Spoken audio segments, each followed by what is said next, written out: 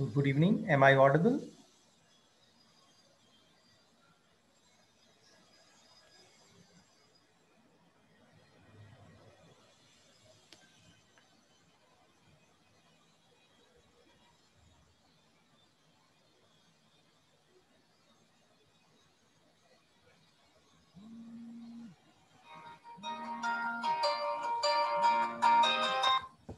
Hello हाँ Yes, sir. या आस्था या या गुड इवनिंग आस्था भी क्लास था फाइव थर्टी हाँ मैंने भेज दिया ना सब। फाइव थर्टी वाले टाइम में देखो सब चीज़ें हैं। उसमें क्लिक करो क्लास स्टार्ट हो जाएगा। लिंक मैंने भेजा है फाइव थर्टी का भी भेजा है नाइन का भी भेजा है। ठीक? Okay fine Am I audible, sir? या नाउ इट इज़ ऑडिबल या फाइन चलिए और भी कुछ बच्चे हैं ज्वाइन करना चाह रहे हैं तो एक मिनट Yes. अपन देख लेते हैं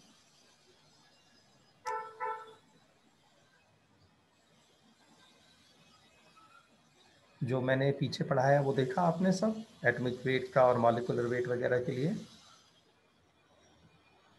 फॉर्मूले sir. फॉर्मूले वगैरह याद किए सर मतलब अभी पूरी तरीके से याद नहीं हुए अच्छा। बट। मैंने अ, करे थे अच्छा क्योंकि अगर जैसे ये फॉर्मूले ने याद नहीं होंगे ना तो फिर अपन को न्यूमेरिकल्स नहीं बनेंगे। और अ, मतलब फॉर्मूले याद होने के बाद भी नहीं बनते क्वेश्चंस तो न्यूमेरिकल्स तो वक्त लगता है चीज़ों को सेटल होने में। तो बिना याद किए Yes, तो अपन इमेजिन कर सकते हैं कि फिर तो बहुत मुश्किल जाएगी। याद करने के बाद भी अपन को एकदम क्लिक नहीं कर पाता कि कौन सा लगाएँ। क्योंकि प्रैक्टिस नहीं होती Yes. ना तो याद करने के बाद भी अपन को प्रैक्टिस की ज़रूरत पड़ती है। तो बिना याद किए तो फिर पूरा ज़ाया हो जाएगा अपन को कुछ भी समझ में नहीं आएगा।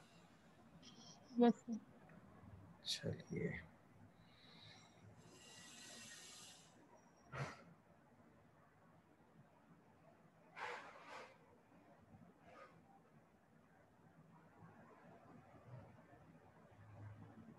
अभी कुछ स्कूल कॉलेज तो रहता नहीं होगा?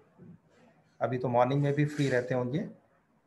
यस सर अच्छा तो कभी जैसे अपन क्लास करना चाहें तो मॉर्निंग आवर्स में भी कर सकते हैं ग्यारह बारह एक बजे? Yes no issue okay fine मैं चाह रहा था एक्चुअली में कुछ थोड़ा सी ज़्यादा वक्त दे करके अपन चीज़ें थोड़ा करें ताकि क्योंकि शुरुआत में स्पीड अगर मैं फास्ट करूँगा ना तो फिर मुश्किल जाएगी। तो मैं चाहता हूँ Yes. स्पीड तो कम ही रहे लेकिन अपन टाइम ज़्यादा बढ़ा दें ताकि अच्छे से चीज़ों को कर पाएँ। यस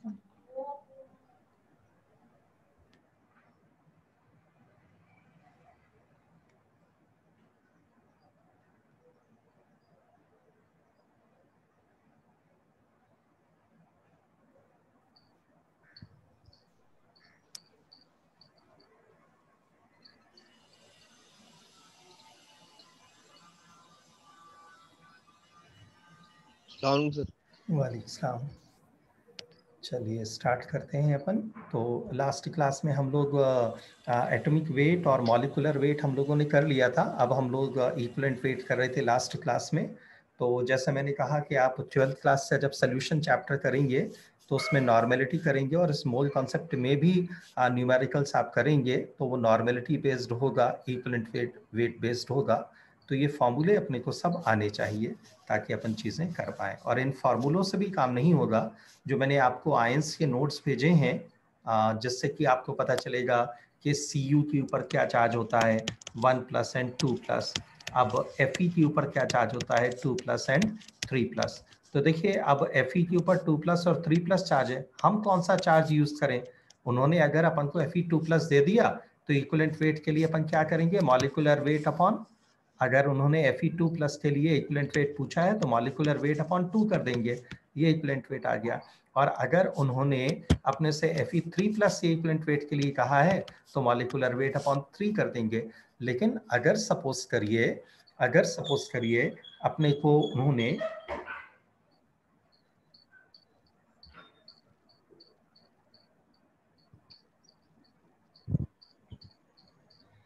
अच्छा एक मिनट ये किसी गर्ल को मैं भेज नहीं पाया। आ, मीटिंग कोड तो वही।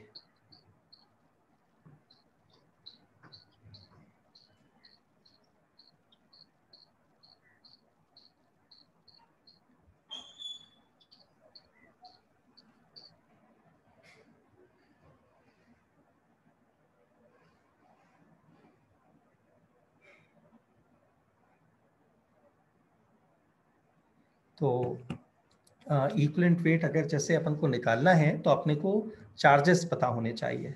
ठीक है कि क्या चार्ज होगा? एफ़ ई फैरस है कि फैरिक है? फैरस है कि फैरिक है? क्या चार्ज होगा? ये अपने को पता होना चाहिए। अच्छा अब सपोज़ सर करिए दूसरी सिचुएशन क्या होती है? हेलो आस्था, हम लोग इक्वलेंट वेट की बातें कर रहे हैं, आस्था। तो इक्वलेंट वेट ये बेसिक कॉन्सेप्ट का थर्ड मॉड्यूल है फ़र्स्ट और सेकंड हो गया है तो वो मैं आपको अलग से करा दूँगा।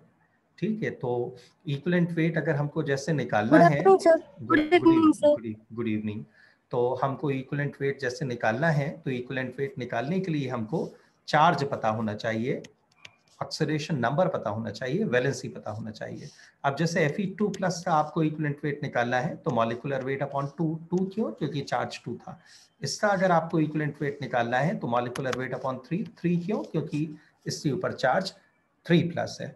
तो देखिए मैंने C U one plus C U two plus F E two plus F E three plus लिख दिया।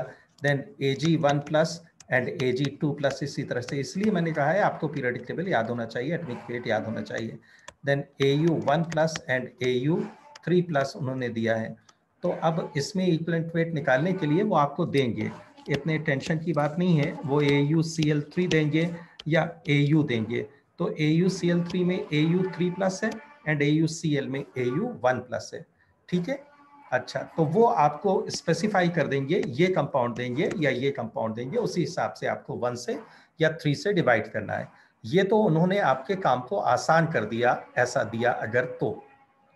लेकिन अगर वो ये लिख दें कि क्लोराइड ऑफ़ गोल्ड क्या लिख दें? क्लोराइड ऑफ़ गोल्ड या गोल्ड क्लोराइड तो अब यहाँ पर अपने सामने मसला खड़ा हो जाता है कि अपन किस तरह से करें।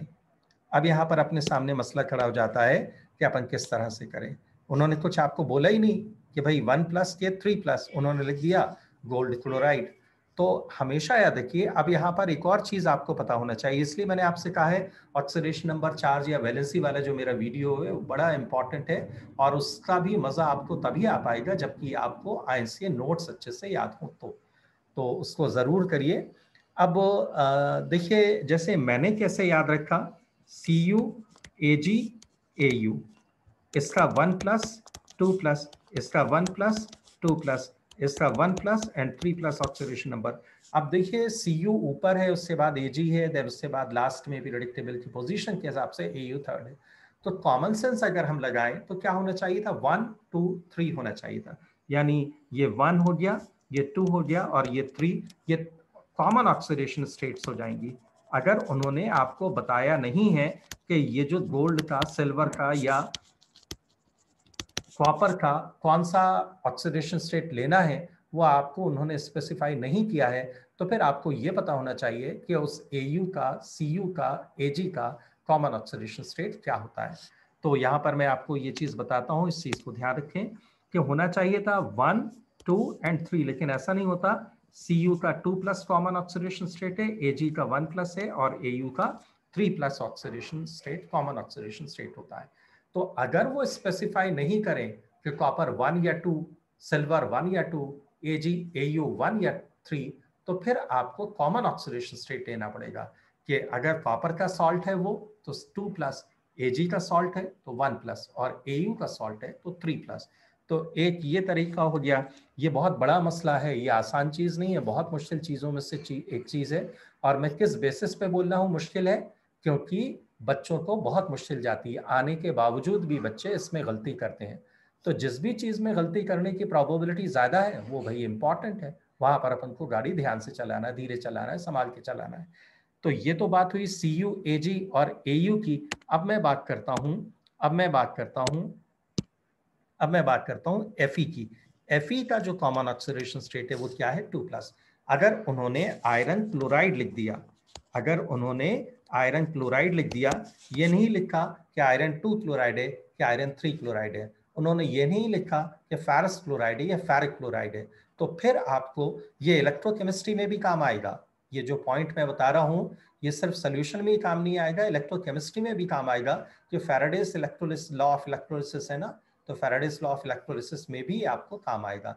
तो बहुत काम की चीज़ है ये। हर जगह इसको काम आना है। प्रैक्टिकल में काम आना है, आपके थ्योरी में काम आना है एंट्रेंस में ट्वेल्थ में, हर जगह काम आना है, हर पार्ट ऑफ़ केमिस्ट्री में इसको काम आना है। चलिए तो आयरन क्लोराइड अब उन्होंने कहा आयरन क्लोराइड यहाँ आपको बताया ही नहीं कि आप टू से डिवाइड करना है, आपको कितने डिवाइड करना है तो आप क्या देखेंगे? कॉमन ऑक्सीडेशन स्टेट क्या है? एफ़ की टू प्लस है। तो वो two plus oxidation state common oxidation state होती है। तो if oxidation state of iron is not specified then obviously will be preferring two plus over three plus ठीक है? तो इस तरह से ये आपको इक्वलेंट वेट निकालने के लिए ये जो वैलेंसी होता है, ये जो चार्ज होता है, ये जो ऑक्सीडेशन नंबर होता है, ये जो एसिडिटी होता है, ये जो बेसिसिटी होता है, ये जो एन फैक्टर होता है, बहुत इंपॉर्टेंट रोल प्ले करता है और बहुत जगह काम आएगा। अभी थोड़ी देर के बाद आपको इनऑर्गेनिक केमिस्ट्री में भी काम आएगा ट्रांजिशन मेटल में भी काम आएगा। अभी थोड़ी देर के बाद देखिए, मैं आपको शॉर्टकट मेथड बताऊँगा। कुछ ऐसा क्वेश्चन इससे रिलेटेड जो कि तकरीबन कई बार आया है, तकरीबन हर साल इसकी ज़रूरत पड़ती है और वो इस फ़िज़िकल केमिस्ट्री में यूज़ नहीं है, उसका उसका इनऑर्गेनिक केमिस्ट्री में है। चलिए तो हम बात कर रहे थे कि इक्वलेंट वेट क्या होता है? इक्वलेंट वेट जो है atomic weight upon N factor होता है। एन फैक्टर क्या होता है? वैलेंसी होती है चार्ज होता है ऑक्सीडेशन नंबर होता है एसिडिटी होता है बेसिसिटी होता है नंबर ऑफ़ इलेक्ट्रॉन्स लॉस्ट या gained in any chemical reaction होता है। तो अब इसकी पहली जो मेथड है इक्वलेंट वेट कैलकुलेट करने की, वो मेथड क्या है? वो मेथड है डिस्प्लेसमेंट मेथड डिस्प्लेसमेंट मेथड है सबसे पहली मेथड। तो डिस्प्लेसमेंट मेथड का फॉर्मूला क्या है? कि equivalent weight equivalent weight is equal to weight of element upon weight of hydrogen into 1.008 ये एटॉमिक वेट ऑफ़ हाइड्रोजन है 1.008 जनरली जो अपन वन लिखते हैं, लेकिन एग्जैक्टली exactly वो कितना होता है? 1.008 तो किसी भी एलिमेंट का, जिस भी एलिमेंट का आपको इक्वलेंट वेट निकालना है उसका आपको मास दिया होगा और हाइड्रोजन का कितना मास है, वो दिया हुआ होगा। एंड देन आपको 1.008 से उस रेशियो को मल्टीप्लाई करना होगा। You will get the equivalent weight of that element चलिए, अब आगे चलते हैं अपन। ये जो है हाइड्रोजन का क्या है? इक्वलेंट वेट है। ये जो है हाइड्रोजन का क्या है? एटमिक वेट हाइड्रोजन का एटमिक वेट भी है और इक्वलेंट वेट भी है। क्योंकि हाइड्रोजन की वैलेंसी वन होती है ना जिसकी भी वैलेंसी वन होती है, जिसका भी एन फैक्टर वन होता है, जिसका भी चार्ज वन होता है, जिसका भी ऑक्सीडेशन नंबर वन होता है, जिसकी एसिडिटी वन होती है, जिसकी बेसिसिटी वन होती है, या वो रिएक्शन जिसमें नंबर ऑफ़ इलेक्ट्रॉन्स लूज या गेन हो रहे हैं, वो नंबर ऑफ़ इलेक्ट्रॉन्स अगर वन है तो जो एटमिक वेट है, वो एटमिक वेट या फिर जो मॉलिकुलर वेट है, वो मॉलिकुलर वेट हमेशा किसके बराबर होगा? इक्वलेंट वेट के बराबर होगा। इक्वलेंट वेट और एटमिक वेट या मॉलिकुलर वेट हमेशा बराबर होगा तब जबकि एन की वैल्यू वन रहे। तो वन से आप किसी भी नंबर को डिवाइड करोगे तो वो तो सेम वही नंबर आएगा ना। तो देन इसके बाद हम आगे चलते हैं कि जैसा मैंने कहा कि ये जो वेट है, ये कौन सा वेट है? एटमिक वेट है हाइड्रोजन का और इक्वलेंट वेट भी है हाइड्रोजन का। क्यों? क्योंकि हाइड्रोजन की वैलेंसी वन होती है। इसलिए मैंने आपको 12 पॉइंट्स पढ़ाए थे ताकि वैलेंसी और ऑक्सीडेशन नंबर चार्ज में आपको मुश्किल ना जाए। तो उससे बाद भी इवन हालाँकि अपन को प्रॉब्लम जाएगी, क्योंकि वो तो नॉर्मल मेथड थी एक्सेप्शनल तो अपन ने अभी पढ़े ही नहीं है। Then equivalent weight of element निकालने का एक और फार्मूला होता है हाइड्रोजन डिस्प्लेसमेंट मेथड से, कि mass of element into 1.008 same यही चीज़ अपॉन मास ऑफ़ हाइड्रोजन की जगह पे volume in ML of H displaced at NTP into 0.00009 अब एक और फॉर्मूला है मास ऑफ़ एलिमेंट सेम यही mass of element mass of element mass of element ये 1.008 ये भी 1.008 देन यहाँ पर दूसरा है ये कि वॉल्यूम इन एमएल ये क्या है? Volume volume volume in ML of H displaced at N तो यहाँ पर ये 11,200 से मल्टीप्लाई किया जाएगा। अगर आप 1.088 को 008 को 0.00009 से डिवाइड करेंगे तो you will get 11,1200 ml only तो ये दोनों के रेशियो से ये आएगा। चलिए, ये पहली मेथड थी हाइड्रोजन डिस्प्लेसमेंट मेथड। अब दूसरी मेथड है, अब दूसरी मेथड है। ये पहली मेथड थी हाइड्रोजन डिस्प्लेसमेंट मेथड मेथड। अब दूसरी मेथड है अपनी के oxide formation method. Oxide formation method में इक्वलेंट वेट कैसे निकालेंगे? यहाँ पर भी आपने क्या किया था? यहाँ पर आपने मास ऑफ़ एलिमेंट लिखा था, यहाँ पर भी मास ऑफ़ एलिमेंट लिखा।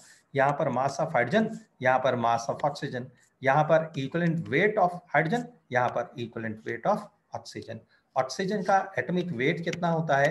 एटॉमिक वेट ऑक्सीजन का होता है 16 और वैलेंसी होती है दो तो इक्वलेंट वेट कितना आ जाएगा? तो इक्वलेंट वेट कितना आ जाएगा? 16 अपॉन टू दैट इज़ 8 इसलिए यहाँ पर आपने 8 लिखा है। यहाँ पर 1.008 तो दोनों एक ही चीज़ है। ये हाइड्रोजन डिस्प्लेसमेंट मेथड है और ये ऑक्साइड फॉर्मेशन मेथड है। यहाँ पर हाइड्रोजन डिस्प्लेसमेंट मेथड था, इसलिए 1.008 यहाँ पर ऑक्सीजन है ऑक्साइड फॉर्मेशन मेथड है तो यहाँ पर इसलिए 8 आएगा। बाकी सब सेम रहेगा। अब ये आपने यहाँ मास ऑफ़ ऑक्सीजन लिखा है, और यहाँ पर क्या लिख दिया?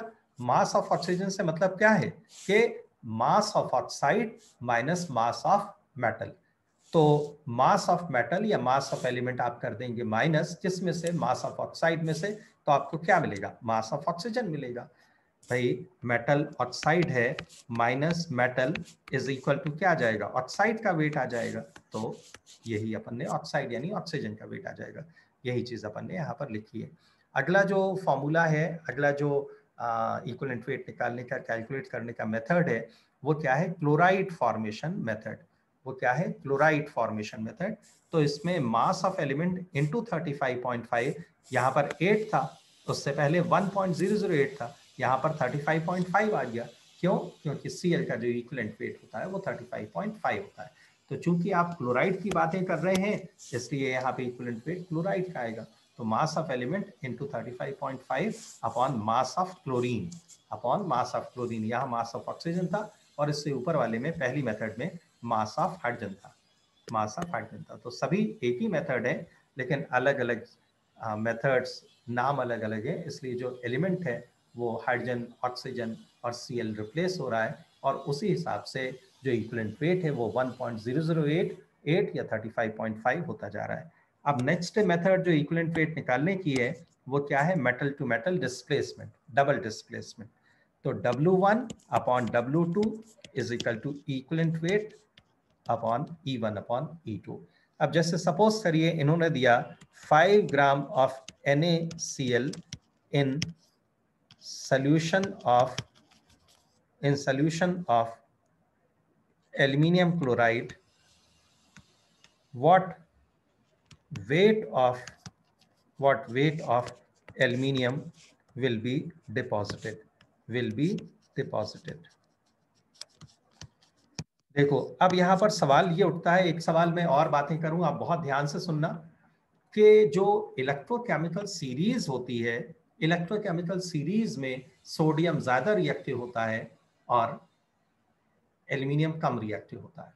सोडियम ज़्यादा रिएक्टिव होता है तो सोडियम जो है ज़्यादा रिएक्टिव होता है से मतलब क्या निकला कि आसानी से इलेक्ट्रॉन दे देगा। ये आसानी से इलेक्ट्रॉन दे देगा और एन प्लस में बदल जाएगा और एल्यूमिनियम फिर एल थ्री प्लस में नहीं बदल सकता। एक ही इलेक्ट्रॉन दे सकता है ना तो सोडियम ने इलेक्ट्रॉन दे दिया तो फिर एल्यूमिनियम के पास कोई रास्ता ही नहीं है। देखिए जैसे दो लोग हैं एक आप हो और एक दूसरा है। अब अगर दूसरा वाला आपसे ज़्यादा ताकतवर है तो आपके पास कोई रास्ता ही नहीं है पिटने के अलावा। वो आपको पीटेगा और आप पिटोगे क्यों? क्योंकि आप तो उसे पीट नहीं सकते, आप तो उससे ज़्यादा पावरफुल हो नहीं। और अगर सपोज़ करो सामने वाला आपसे कमज़ोर है तो फिर आप उसे पीटोगे उसके पास कोई भी ऑप्शन नहीं है। आपके पास ऑप्शन होगा कि आप उसे पीटो कि पिटो। तो सेम इसी तरह से इलेक्ट्रॉन देना भी सोडियम में इलेक्ट्रॉन देने की टेंडेंसी ज़्यादा है तो फिर एल्यूमिनियम के पास कोई रास्ता नहीं है, सिर्फ़ इस बात के कि वो इलेक्ट्रॉन को ले। यानी सोडियम एनोड के जैसे काम करेगा ऑक्सीडाइज होगा, और एल्यूमिनियम कैथोड के जैसे काम करेगा रिड्यूस होगा, इलेक्ट्रॉन लेगा। इस बारे में आगे मैं और बात करूँगा तो मैं शायद परेशान नहीं होना तो बस ध्यान से सुन लो चीज़ों को, ध्यान रखो पॉइंट को देन आगे फिर अपन इस चीज़ को करेंगे। मैं जानता हूँ कि भाई अभी आपको ये सब चीज़ें नहीं आती होंगी तो इसलिए ऑब्वियसली सिर्फ़ जो मैंने बोला वो ध्यान रखो। अब इस क्वेश्चन में देखो कि जो सोडियम जो एल्यूमिनियम और सोडियम है तो सोडियम का मास कितना दिया है? फाइव दिया है। तो सोडियम का मास आपको फाइव दिया है तो आपने यहाँ फाइव लिख दिया। एल्यूमिनियम का वेट आपसे पूछा है एंड देन सोडियम का इक्वलेंट वेट कितना होगा? सोडियम का इक्वलेंट वेट सोडियम कितना है? 23 और Cl कितना है? 35.5 तो आप दोनों को मिला दीजिए तो कितना आ जाएगा? 58.5 आ जाएगा। और एल्यूमिनियम सीएल सॉरी सोडियम का वेट लीजिए। सोडियम का वेट कितना है? 23 23 आ गया। अच्छा अब इसके बाद एल्यूमिनियम का वेट लीजिए। एल्यूमिनियम का वेट कितना है? एटमिक वेट 27 है और इक्वलेंट वेट कितना होगा? 27 अपॉन थ्री तो ये थ्री यहाँ से निकल जाएगा और यहाँ आ जाएगा। ठीक है? तो एल्यूमिनियम का इक्वलेंट वेट कितना है? 27 अपॉन थ्री और सोडियम का एटॉमिक वेट कितना है? 23 अपॉन वन अब W2 to is equal to क्या आ गया? W2 को इधर ले जाइए। तो 27 seven into five twenty seven into five and divided by कितना आया? 23 three into three three nine ज़ा ट्वेंटी सेवन नाइन फाइव ज़ा forty five forty five upon twenty three यानी अप्रॉक्सीमेटली कितना आया? टू आया। Approximately forty six upon twenty three होगा तो एग्जैक्टली टू आएगा। ये टू से थोड़ा सी कम होगा तो चलिए डब्ल्यू टू कितना आया? अप्रॉक्सीमेटली टू ग्राम होगा। यानी फाइव ग्राम एन अगर एनोड पे डिपॉजिट होगा तो कैथोड पे कितना एल्यूमिनियम डिपॉजिट होगा? अप्रोक्सीमेटली टू ग्राम डिपॉजिट होगा। इस तरह से क्वेश्चंस वो अपन को देंगे। तो एटमिक वेट्स आपको नहीं दिए जाएँगे इक्वलेंट वेट्स आपको नहीं दिए जाएँगे, वो आपको पता होने चाहिए। और दो वेट में से सिर्फ़ एक वेट वो देंगे और दूसरा आपको निकालना होगा। हाँ भाई चले आगे। ये metal to metal displacement W1 one upon W two is equal to E one upon E two था। ये Faraday second law of electrolysis है। ये क्या है? ये Faraday second law of electrolysis है जो आपने लिखा है यहाँ पर जो अपन इलेक्ट्रोकेमिस्ट्री में पढ़ेंगे। Faraday second law of electrolysis है ये। हाँ भाई चले आगे। मैशा? Yes, ठीक है? Yes, ईजान यस सर आस्था ठीक है? यस सर चलो ठीक है। आगे अपन चलते हैं और तो देख लेना इसे आप लोग और बाद में भी पूछ सकते हो। देन इसके बाद डबल डिकम्पोजिशन मेथड है तो मोर और लेस ये भी फोर्थ मेथड जैसे मेटल टू मेटल डिस्प्लेसमेंट जैसा ही है। यहाँ पर भी वेट वहाँ पर वेट ऑफ़ मेटल था यहाँ पर वेट ऑफ़ सॉल्ट है ए भी है सिर्फ़ इतना फ़र्क है। And weight of A D है। तो ये equivalent weight of A D A B होगा और ये equivalent weight of A D होगा। तो यहाँ पर भी वही आया। W one upon W two is equal to E one upon E two वहाँ पर एलिमेंट था, वहाँ पर एलिमेंट का वेट था, यहाँ पर सॉल्ट का वेट है कंपाउंड का वेट है। ठीक है? तो अच्छा अब equivalent weight of A B का मतलब क्या होता है? Equivalent weight of A plus equivalent weight of B equivalent weight of A D का मतलब क्या होता है? Equivalent weight of A plus equivalent weight of D तो इस तरह से आपने ये चीज़ कर दिया।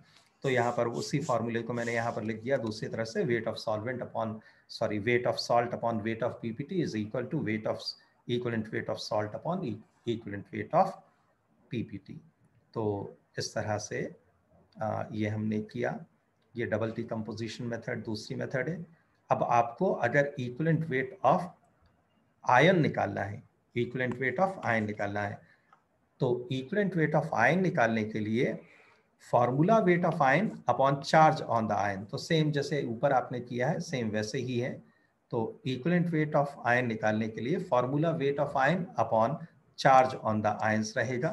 देन इसके बाद जो नेक्स्ट है एग्ज़ाम्पल उन्होंने दिया कि इक्वलेंट वेट ऑफ़ सल्फेट का जैसे फॉर्मूला वेट ऑफ़ आयन मतलब? हाँ जैसे जैसे देखिए NaCl में आप NaCl लिखते हो ना लेकिन NaCl नाम की कोई चीज़ थोड़ी होती है ये तो किताबों में होती है।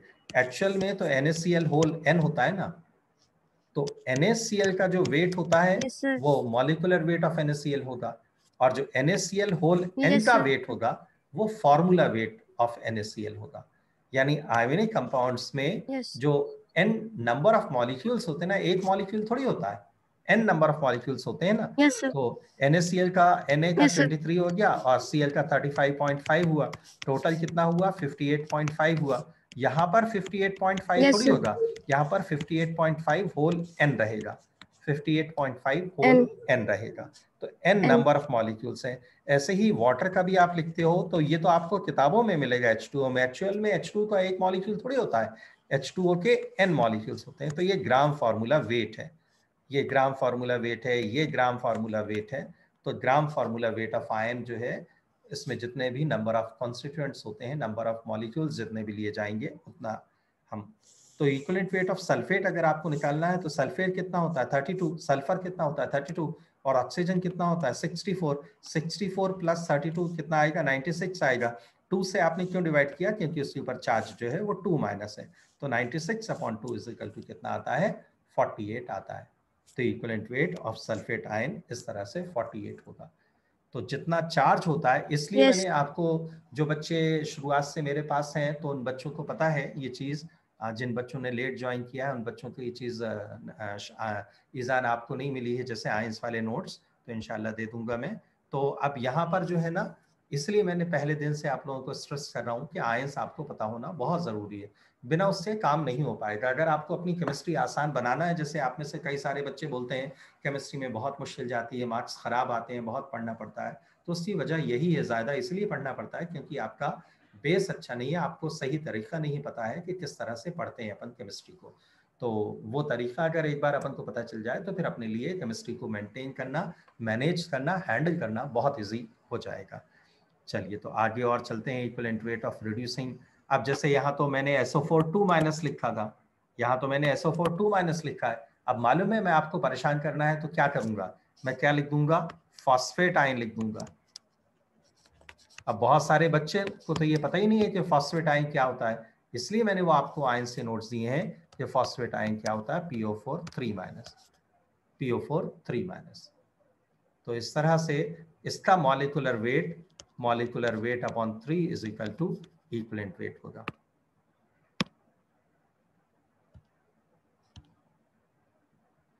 ठीक है?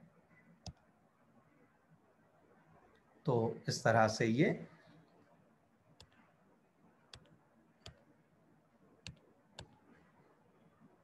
इस तरह से मॉलिकुलर वेट अपॉन थ्री होगा, तब जा करके अपन फॉस्फेट का इक्वलेंट वेट निकाल पाएँगे। ठीक है? तो ये चीज़ हुआ आपका।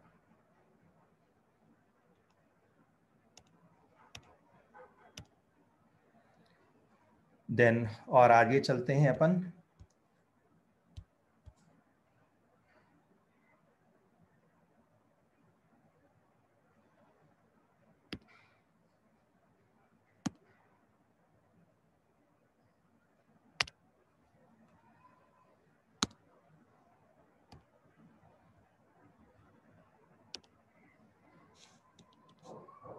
और आगे चलते हैं अपन, के डबल डिकम्पोजिशन मेथड के बाद एक मिनट इसको मैं दोबारा से स्टॉप शेयर करके देन एक्सक्यूज मी